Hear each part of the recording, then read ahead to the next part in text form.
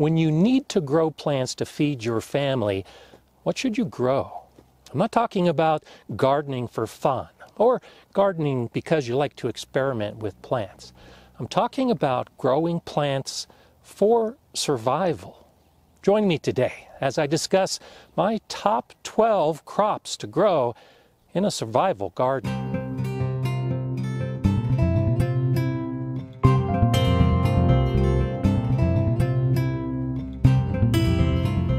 Hi, I'm Gardener Scott, and there are many reasons why you might be considering a survival garden. Disease, war, supply chain issues. There are a number of events in the world today that makes growing your own food a better idea every day. But when it comes to growing your own food, there are some important considerations. You may need to change the way that you're currently gardening. You may need to learn new ways of gardening. So, as I've compiled this list, I've looked at four primary factors in determining what the best crops are to grow. The first being nutrition and calorie count. If you're going to take the space in your garden to grow some of these important crops, well, they should have a benefit to your diet. They should be nutritional and they should supply much of the calorie count that you need on any given day. They should also be plants that are easy to grow. It really doesn't make sense to grow a crop that's going to be so challenging for you that it might lead to failure. We're talking about survival. We're talking about your food. So you need to grow plants that are going to make it through to the end of your growing season. And for all of those plants you harvest, well, you need to think about the storage ability of the plant, how you can preserve those crops so that they last longer than the growing season. And I think it's important to grow plants that you're probably already familiar with.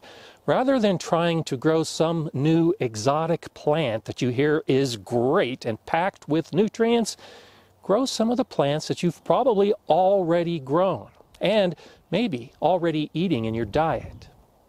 The order of these 12 crops is not necessarily their order of importance.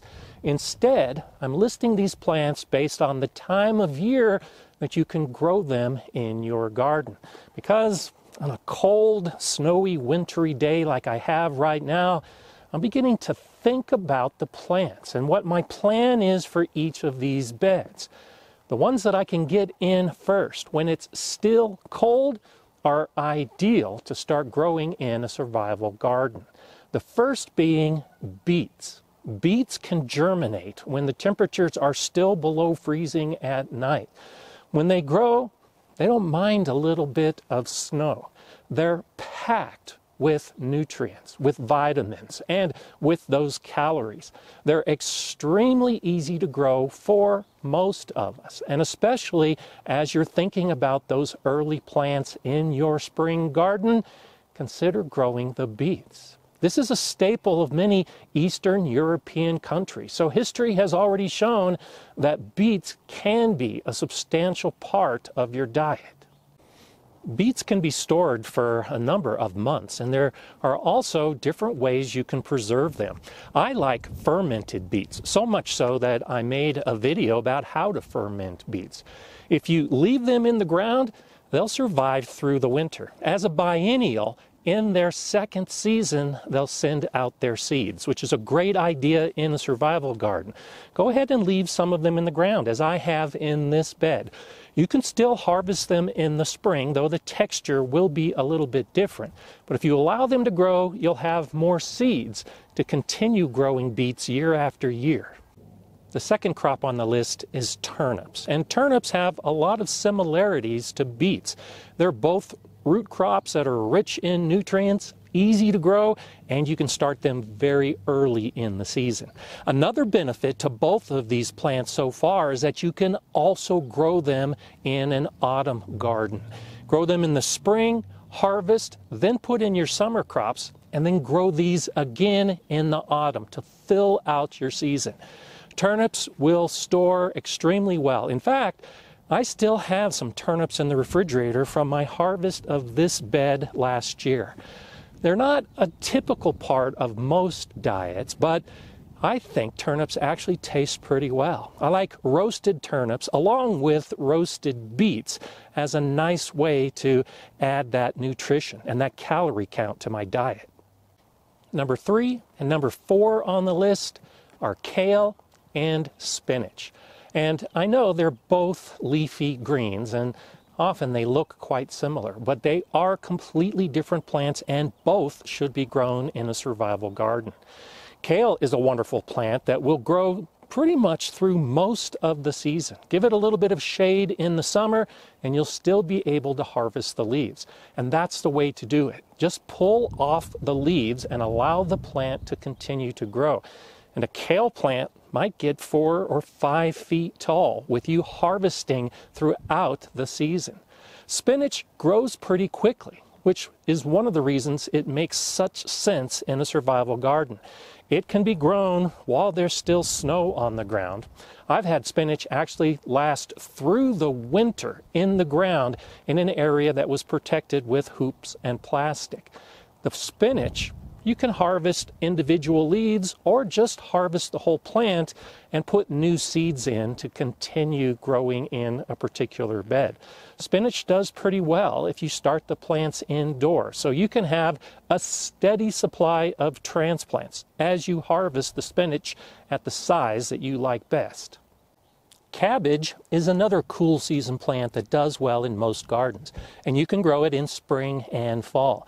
Depending on the variety, if you want a nice big head of cabbage, it can take a long time to grow. So you might consider some of the other varieties that don't take as long so that you can continue harvesting crops in your garden.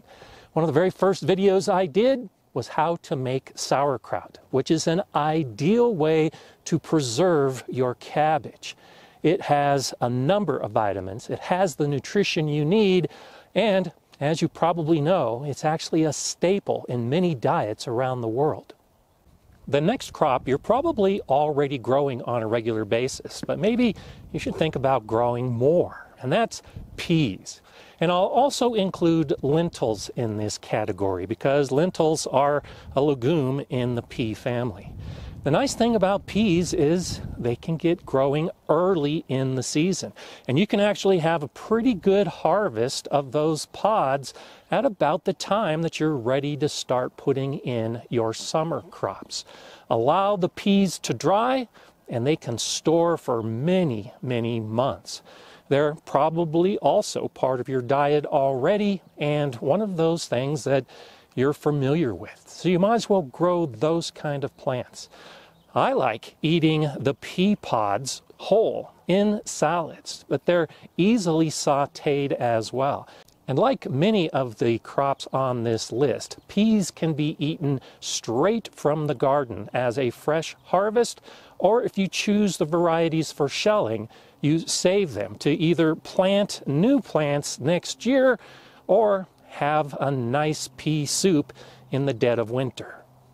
As you harvest these crops and start making room for your summer survival garden, one of the first plants to consider are potatoes. Potatoes may be just about the most ideal survival crop packed with nutrients and calories. Pretty easy to grow, and they can be grown in most regions of the world chances are they're already part of your diet. And you know that they can store for a very long period of time. For a really good survival garden, look beyond just the beds that you're growing in and consider growing in containers grow bags, five gallon buckets.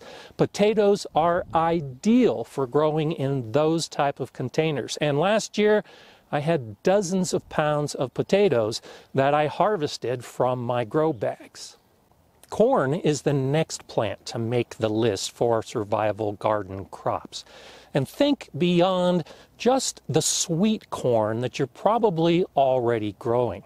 Sweet corn varieties may give you one or two ears per plant, and they're great to eat fresh during the summer. Can be frozen pretty well and are part of your diet already. Well, also think about what's known as field corn the type of corn that is intended to dry after harvest so that you can save it over a period of months. It can be used as animal feed, it can be made into a flour, and it can be used in a number of the other stews and soups that you might be using corn in right now. It may take a little bit extra space, but the more corn you can grow, the better it'll be. And like the different types of corn, you should grow the different types of squash in a survival garden. Summer squash and winter squash. It's called winter squash not because it grows in the winter, but because it stores so well you'll be using it throughout the winter. And I still have a lot of butternut squash that I harvested last year the end of winter, with snow on the ground, I can still make a butternut squash soup, which tastes delicious and is a great way to feed me and my family when I can't be growing outside. During the peak of summer, the summer squash is so abundant and grows so quickly that you'll be harvesting plants like zucchini on a daily basis to help fill your dietary needs. As a survival crop, squash is definitely in the top 12. Tomatoes are also an important part of a survival garden. First off, you probably already like tomatoes and are growing them in your garden. They're the most popular crop that we grow. They are so easy to grow and grow in so many different regions that if you choose the right variety, you should have success. And they can be preserved in so many different ways. If you don't know how to can tomatoes, well, you should learn so that you can do something with that abundant crop and be able to eat tomatoes throughout the year. You can also freeze tomatoes, you can dry tomatoes, you could make a sauce with your tomatoes and use that during the winter as well. Tomatoes rank very high in the top 12. Now, granted, they can only be grown during the summer, but like I do, if you devote a large area of your garden to growing tomatoes, you'll be able to fulfill your dietary requirements even with snow on the ground. Beans are another plant that you'll only be able to grow during the summer, but you can grow a number of different types of beans for different purposes. You can have those beans that you're growing to pick fresh and use fresh, or you can grow the beans that are intended to dry, like pinto beans, and then store for a number of months so that you can continue to use them during the winter when you couldn't normally grow the beans.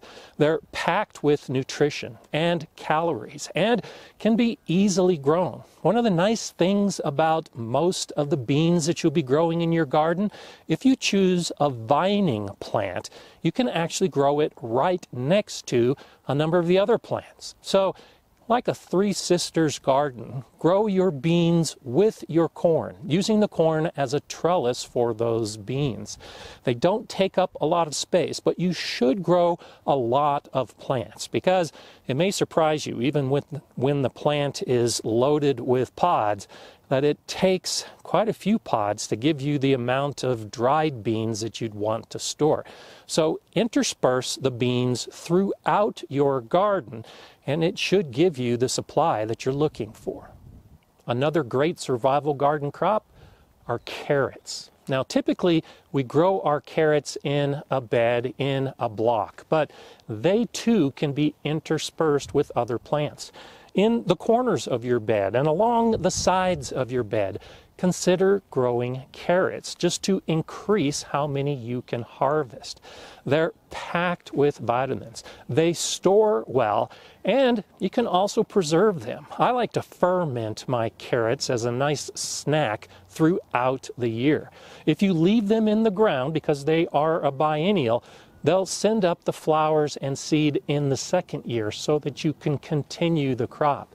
You can also use that as a storage method. You can dig up carrots throughout the winter whenever you can and also in the spring.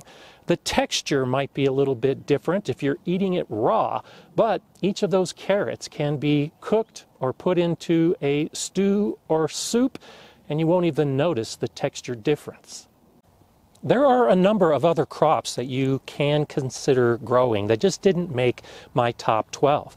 A great crop that is packed with nutrition and is a staple in many diets are sweet potatoes. Now, I didn't include sweet potatoes on my list because many varieties can take 120 to 150 days to harvest. And in my Colorado garden and many other northern regions, we just can't be guaranteed that our season will be long enough to harvest the sweet potatoes. And because we're doing this for survival, we really don't want to waste garden space if we're going to have a failure of the crop. So, if you can grow sweet potatoes, definitely consider adding them to your list. Even if you're not able to get a complete harvest of the sweet potatoes, you can eat the leaves over the course of the growing season. So they might make your top 12. I'm just limited with the length of my growing season, and if I'm going to grow a crop for the roots, I really want to harvest those roots. Two other crops that didn't make my top 12 are peppers and cucumbers. Both plants that I grow regularly and both plants that I will continue to grow. Cucumbers are great to be made into pickles, but they really won't fill a substantial part of most diets. They just don't have the calorie count that I think is important for crops in a survival garden. And peppers are similar. They have a number of vitamins, particularly vitamin C, and they can be added to a lot of dishes. But as a primary crop, as a food source, they just don't rank high enough. I have garlic growing in this bed. And if you have the space, garlic is one of those plants to consider. But its downfall is that it takes about nine months from the time you plant until the time you harvest. And so I haven't been able to use this bed for anything since I put it in the ground, and I won't really be able to use it much until I can harvest the garlic. But if all you're eating are those 12 primary crops in a survival garden, you're probably going to get bored with the taste. That's where garlic comes in. It can really make your food taste better, along with a lot of other plants like herbs and even onions. Consider growing those as well, not because they pack the nutrition or because you can repeat grow them throughout the season, but because it adds variety to your diet. You can grow all of those in containers. And that's a great way to expand the crops that you're growing, as I mentioned before with the potatoes. Maybe take the 12 top plants and grow them in your primary beds and then around the edges, have your containers to grow all of those others that might not be in the top 12, but can still be a good idea to grow when you're providing food for your family because you need to. I'm Gardener Scott. Enjoy gardening.